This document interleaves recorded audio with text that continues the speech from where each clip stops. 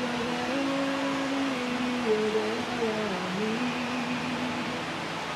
gonna need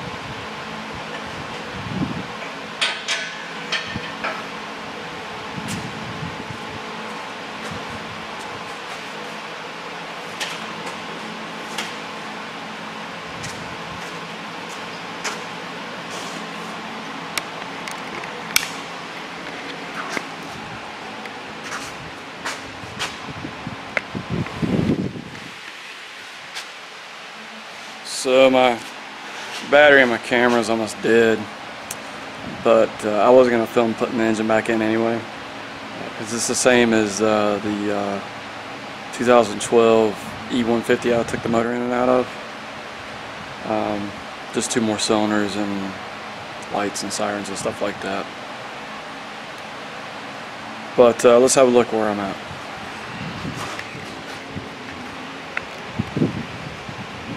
You see how long my chain is for the I just did that so I can get it off the, the stand.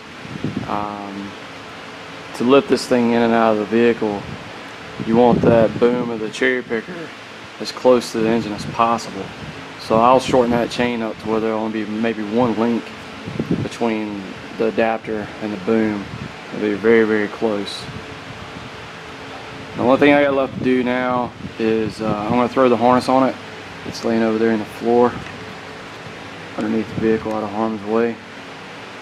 So I'll put that on the engine so I can deal with it when it's in the chassis. And I've got a torque. Uh, the engine was just swinging too much to uh, torque the uh, motor mounts. So I'm just going to double check the torque on the exhaust manifolds. Always double check, triple check them. And torque the motor mounts and on both sides. And that's it. Go ahead and put the dipstick in? Because that's an exposed exposed hole there. Um, that's all I can think of. He'll set it back in button it up and when I get it all together I'm gonna turn the camera back on. Because I want to get the uh, hours see what the hours is and we'll see what this thing sounds like when we hit the key for the first time so I want to share a quick word about um, heavy and involved jobs such as this one. Uh, there's all sorts of little things that make these a job goes good, uh, not come back, and you know someone in the shop may see someone working on a job like this and think nothing's getting done, done thinking they're slow or whatever. I give you for instance. All right, so I've got a brand new radiator hose. Is getting a new bottom hose and a new oil cooler, both of which are still attached to the chassis. Well, a lot easier to change this hose now than later. It bolts to the frame right there with that clamp. Those are the lines going to the oil cooler. And it goes up to the degas bottle right there. So I'm going to go ahead and take that off, get that swapped out with a new one. Notice the pile of fluid that was leaking out of the back of the engine. Alright, so we've got uh, that oil right there. That needs to be cleaned up. So I got a spray brake clean in there. Clean it all up dry it out you know. Then we've got a stud exhaust stud that stayed in the um, converter assembly. Alright so I've got uh, new hardware and I got a new stud. I don't want to try to salvage that one you know so now I got to get that off there, whether it be cutting it or holding it with vice grips and turning it, you know, whatever the case may be. But it's got to be dealt with before I can put the engine back in the chassis. So little things like that they can prolong the job. So I'll get those taken care of and situated, and then we'll put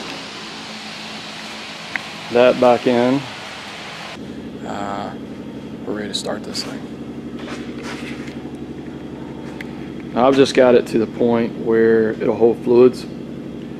So particularly on diesel, I like to do this. I'll get it to that point and then I'll just go ahead and start it and let it run and just sit idle the rest of the time while I finish putting the front end on it and get it back ready to drive.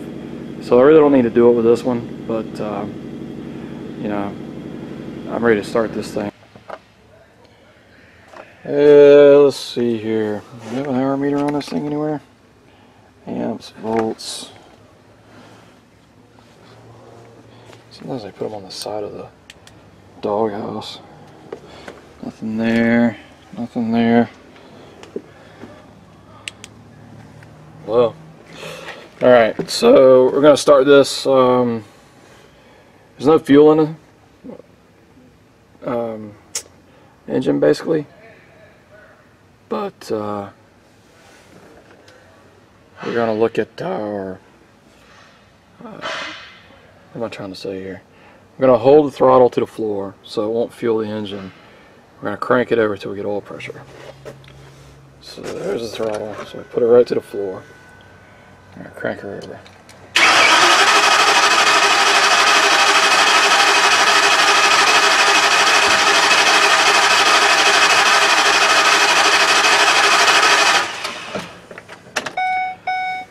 so we've got you know lifters that are dry um, yeah basically a dry engine. I primed the filter so the filter has oil in it and uh, man I'm tired tired I'm rambling.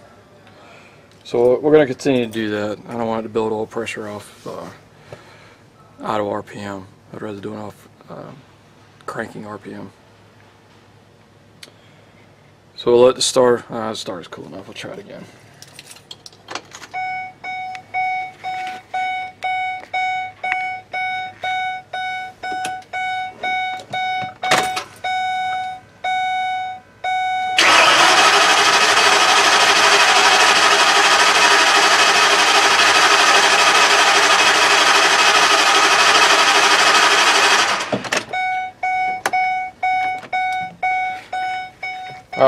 Sit and uh, let star cool down and then crank it again. Alright, round two.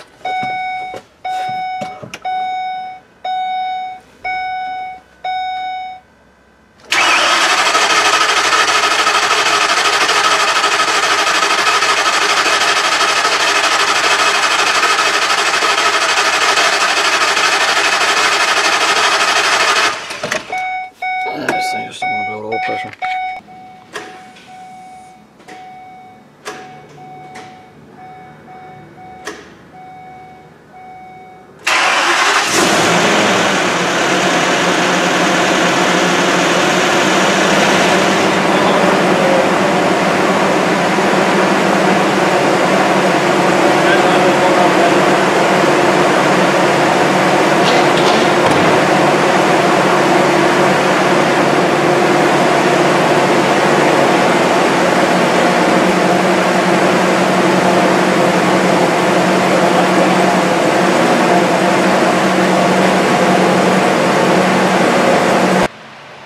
Normally when I start these vehicles up, I'll let them run, and uh, while I'm putting the front end back together, as you can see, I've, still got to put the um, grill and hook up the auxiliary lights, things like that.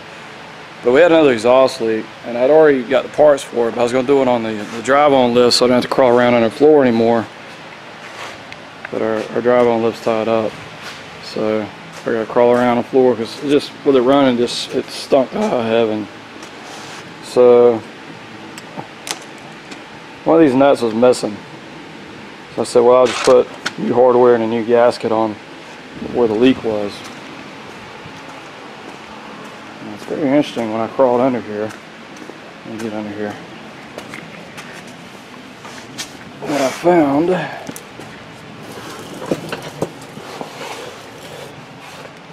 the two fasteners that were still there were finger tight. I could just take them off by hand. And when I separated the pipe there's no gasket. No gasket at all. So very interesting. Very uninteresting.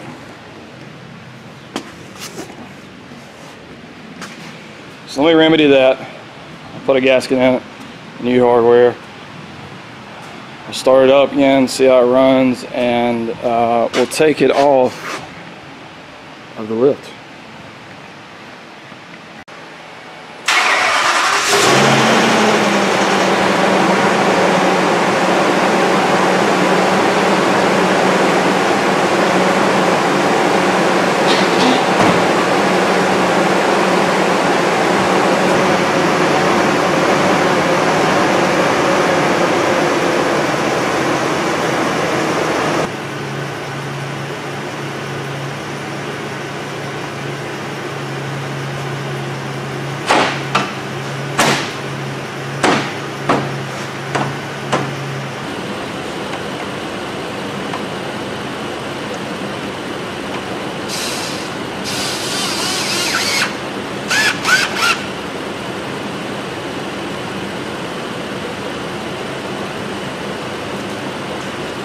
Officially out of pieces except for AC cap. Don't refill the air conditioning yet. Refill that and then we'll go for a test drive. Hood's done. Go for the doghouse and seat in.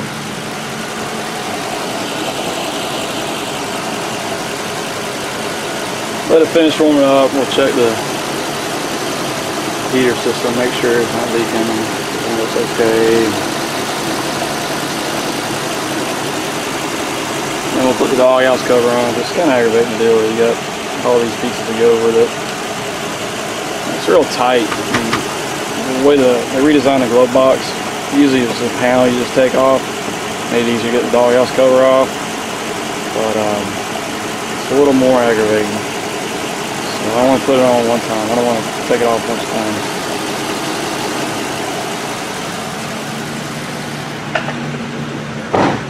Exhaust system sounds a lot better. It's nice and quiet. I'll be happy.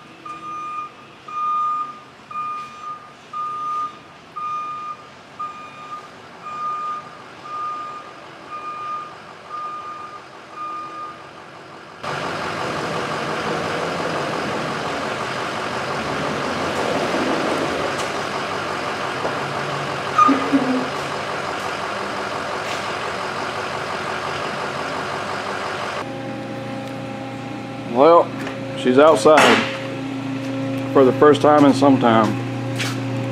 Out on a daylight. Filling up the air conditioner.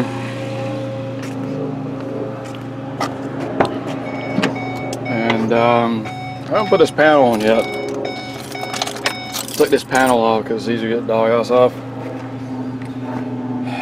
They've got some sort of uh, GPS or something hooked to the data link and um, that's the panel clips in right here. So it covers all that up. I need to check for codes make sure I don't have any codes when I get out and test driving this thing. So I'll put that panel on last when I'm done.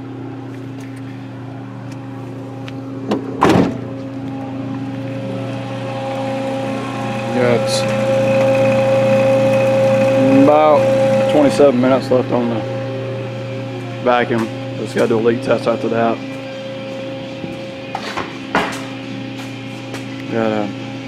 coolant leak on that one, AC leak on that one. And fun times are ahead. No quicker than I got that one done.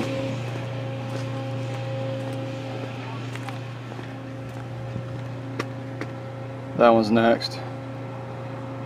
That's got a 6.0 diesel in it with an oil leak.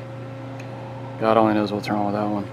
Then I got the two over there. I got the white one. Pay no attention to the trash and the fence. Place looks like it's going to be condemned any day now. Anyway, the white one, the there's no compression on number 8 cylinder motor's got to come out. It's a 543 valve. And the red one, backfiring through the intake. It's a 6 liter, so it needs some head work. Got a stuck valve in it. Good times, good times. But it could be worse. It could uh, have nothing to do at all.